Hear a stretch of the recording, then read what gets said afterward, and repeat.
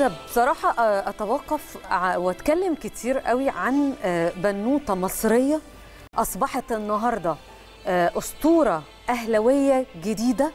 هي حديث العالم النهارده يعني من الصبح لحد دلوقتي بسبب مستواها الفني الرائع اللي ظهرت بيه. هي النهارده كمان أيقونة أو أصبحت أيقونة في عالم كرة التنس. والرمز الحقيقي للعبة نقدر نقول إنها أصبحت رمز خلاص في الوقت الحالي لأنها نجحت إنها تتأهل لدورة الألعاب الأولمبية في طوكيو عشان تكون أول لاعبة مصرية بتتأهل لاولمبياد في تاريخ اللعبة. إحنا ما عندناش أي لاعبة مصرية تأهلت إلى أي دورات أولمبية سابقة. فالنهاردة بيضاف لها هذا التاريخ إلى جانب مشاركتها لآخر نسختين من بطولة براغ المفتوحة بالتشيك وشاركت يمكن برضو في النسخة اللي أقيمت في سبتمبر الحالي ومن قبلها كانت في كان لها بطولة برضو في يوليو. فميار شريف النهارده لاعبة منتخب التنس بتلفت الأنظار.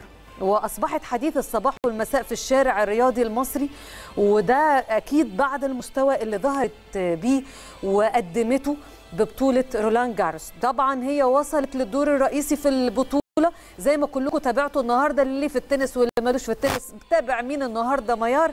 بقى اسمها يعني متصدر. أفتكر برضو الترند النهارده. النهارده لق يعني لقبت بالفتاة الذهبية واللقب ده الحقيقة بيمنحوا ليها الشعب المصري بعد الإنجازات اللي حققتها في رياضة التنس تحديدا.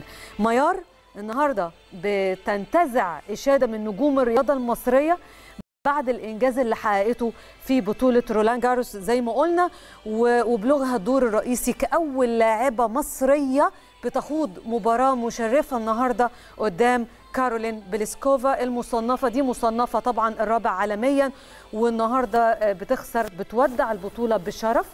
وأشرف صبحي وزير الرياضة المصري بيصدر بيان رسمي بيوجه ليها التهنئة وده بعد الإنجاز التاريخي اللي حققته. أدائها المميز قدام كارولين زي ما قلنا خرجت صحيح من المنافسة. لكن خلونا نروح دلوقتي نشوف تقرير عن النجمة اللامعة العالمية دي المتألقة ميار شريف ونرجع تاني.